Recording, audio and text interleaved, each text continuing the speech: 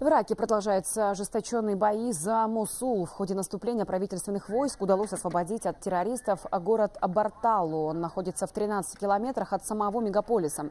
Кроме того, военные ликвидировали порядка 200 боевиков ТИГИЛ. Первые потери понесла уже международная коалиция.